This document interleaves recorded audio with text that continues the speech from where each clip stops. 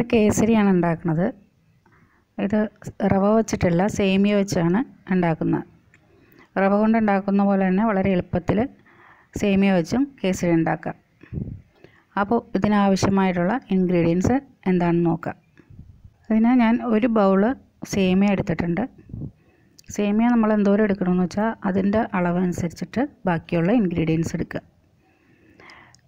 ഒരു ബൗൾ സേമിയ എടുക്കുമ്പോൾ ഒരു ബൗളിന് പഞ്ചസാര എടുത്തോളാം. നല്ല മധുരം ആവശ്യമുണ്ടെങ്കിൽ. ഇത് ഞാൻ മുക്കാൽ ബൗളേ എടുത്തിട്ടുള്ളൂ. നോർമലായിട്ടുള്ള മധുരമുള്ളൂ ഇനി വെള്ളം സേമിയ എടുക്കുന്ന ബൗൾ പാത്രത്തിന് രണ്ട് പാത്രം ഒരു ഒരു പാത്രം സേമിയ എടുത്താൽ രണ്ട് പാത്രം വെള്ളം. പിന്നെ കശ് കശുവണ്ടി കിസ്മിസ് കിസ്മിസ് നിങ്ങൾക്ക് ഇഷ്ടമാണെങ്കിൽ ഇടുക ഇവിടെ ഇഷ്ടമില്ലാത്തതുകൊണ്ട് ഞാൻ ഇട്ടില്ല. പിന്നെ ഏലക്ക രണ്ട് ഏലക്ക പൊടിച്ചിട്ട് എടുക്കുക.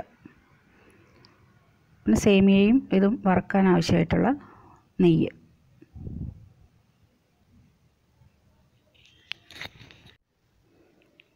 പാൻ ചൂടാകുമ്പോൾ അതിലേക്ക് ഒരു ടേബിൾ സ്പൂൺ നെയ്യ് ഒഴിച്ച് പതുക്കെ ചൂടാക്കുക.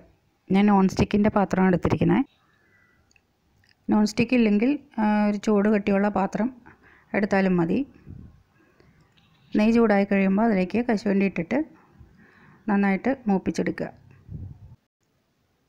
ലൈറ്റ് ഗോൾഡൻ കളറാകുമ്പോഴത്തേക്കും അണ്ടിപ്പരിപ്പ് അതിൽ നിന്ന് എടുക്കുക. അത് ആ ചൂടിൽ തന്നെ അത് കുറച്ച് നേരം ഇരിക്കുമ്പോൾ ഒന്നുകൂടി മൂക്കും. അപ്പോൾ അത് കണക്കാക്കി വേണം അടുപ്പിൽ നിന്ന് എടുക്കാനായിട്ട്. ഈ നെയ്യ് ബാക്കിയുള്ള നെയ്യിൽ തന്നെ നമുക്ക് സേമിയ വറുത്തെടുക്കാം. നെയ്യ് കുറവാണെന്ന് തോന്നുന്നുണ്ടെങ്കിൽ ഒരു അര സ്പൂണും കൂടി നെയ്യ് ഒഴിച്ചു കൊടുക്കുക. ആകെ രണ്ട് ടേബിൾ സ്പൂൺ നെയ്യാണ് നമ്മൾ എടുക്കുന്നത്.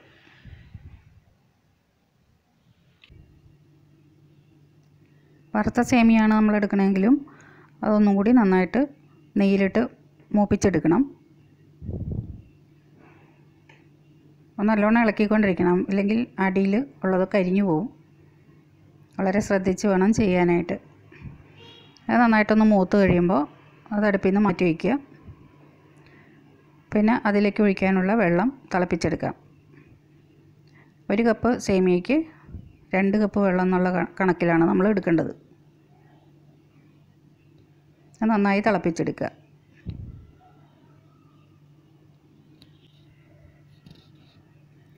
ഇപ്പോൾ വെള്ളം നന്നായി തിളച്ച് വന്നിട്ടുണ്ട്. ഇനി ആ ചീനച്ചട്ടി എടുത്ത് വെച്ച് അതിലേക്ക് നമ്മൾ സേമിയയിലേക്ക് തിളച്ച വെള്ളം ഒഴിച്ചു കൊടുക്കുക.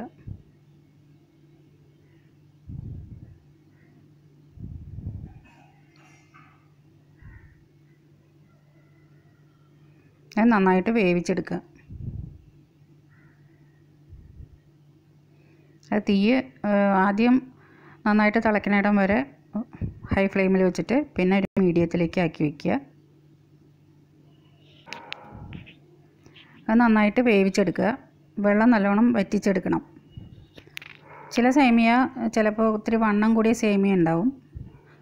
അപ്പോൾ അത് വേവാനായിട്ട് ചിലപ്പോൾ ഈ വെള്ളം മതിയായി എന്ന് വരില്ല. അപ്പോൾ നമ്മൾ അത് വേവിക്കാൻ ഇടുമ്പോൾ തന്നെ അപ്പുറത്തെ അടുപ്പിൽ കുറച്ചും കൂടി വെള്ളം തിളപ്പിക്കാൻ വയ്ക്കുക. എന്നിട്ട് ഇത് വെന്തിട്ടില്ല എന്ന് തോന്നുകയാണെങ്കിൽ കുറച്ചുകൂടി ആ തിളച്ച വെള്ളം ഒഴിച്ചു കൊടുക്കുക. ഇപ്പോൾ സേമിയ നല്ലോണം വെന്ത് വെള്ളമൊക്കെ വറ്റി വന്നിട്ടുണ്ട്. അതിലേക്ക് എടുത്തു വെച്ച പഞ്ചസാര ഇട്ട് കൊടുക്കാം ഞാൻ മുക്കാൽ കപ്പ് പഞ്ചസാര എടുത്തിട്ടുള്ളൂ. അതൊരു നോർമൽ മധുരമേ ഉള്ളൂ. നിങ്ങൾക്ക് ഒരു കപ്പ് പഞ്ചസാര ഉപയോഗിക്കാം. നല്ല മധുരം വേണ്ടവർക്ക് പിന്നെ ഒരു കാര്യം പ്രത്യേകം ശ്രദ്ധിക്കണം. സേമിയ നന്നായിട്ട് വെന്തതിന് ശേഷം മാത്രമേ പഞ്ചസാര ഇട്ട് കൊടുക്കാൻ പാടുള്ളൂ. ഇനി ഒരു കാൽ ടീസ്പൂൺ ഏലക്കാപ്പൊടിയും കൂടി ചേർത്ത് കൊടുക്കുക.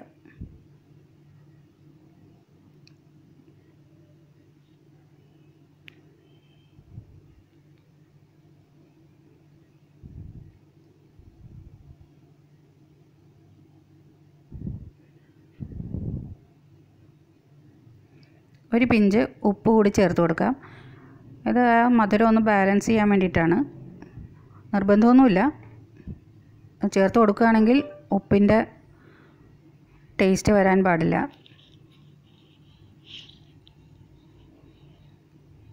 ഞാൻ ഇത്തിരി കളറ് ഫുഡ് കളറ് ചേർത്ത് കൊടുക്കുന്നുണ്ട്.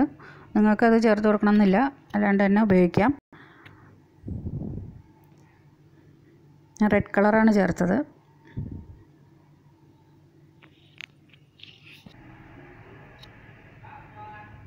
ഫുഡ് കളർ ചേർത്ത് കൊടുക്കണമെന്ന് ഒരു നിർബന്ധമില്ല ചേർക്കാതിരിക്കുക തന്നെയാണ് നല്ലത്. ഞാനൊരു കളർഫുൾ ആയിക്കോട്ടെ എന്ന് വിചാരിച്ചിട്ട് ചേർത്തതാണ്. ഇനി അണ്ടിപ്പരിപ്പും കൂടി ഇട്ട് കൊടുക്കുക. ഇനി നന്നായിട്ട് വറ്റിച്ചെടുക്കണം.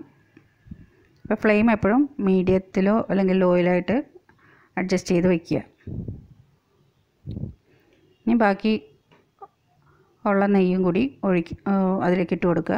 ആകെ രണ്ട് ടേബിൾ സ്പൂൺ നെയ്യാണ് നമ്മൾ യൂസ് ചെയ്തിരുന്നത്.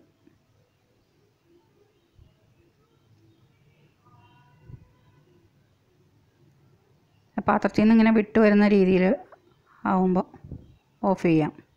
പിന്നെ സേമിയ ഇത്തിരി നീണ്ട് അങ്ങനെ ഇതായിട്ട് തോന്നുന്നുണ്ടെങ്കിൽ ഒന്ന് ഉടച്ചു കൊടുക്കുക.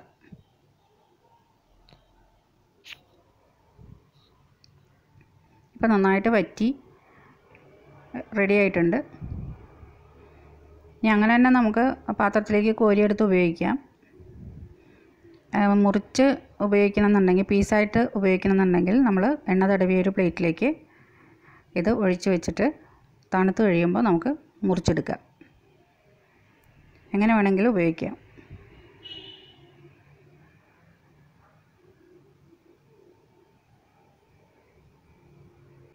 നന്നായിട്ട് തണുത്തതിന് ശേഷം മാത്രം മുറിക്കുക. ചെറിയ പീസായിട്ട് മുറിച്ച് എടുക്കുക. അപ്പോൾ ഇതെല്ലാവർക്കും ഇഷ്ടപ്പെട്ടു എന്ന് വിചാരിക്കുന്നു.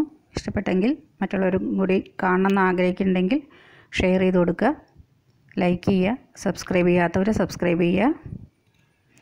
ഇനി അങ്ങോട്ട് സപ്പോർട്ട് ഉണ്ടാവുമെന്ന് പ്രതീക്ഷിക്കുന്നു. അടുത്ത വീഡിയോയിൽ കാണാം.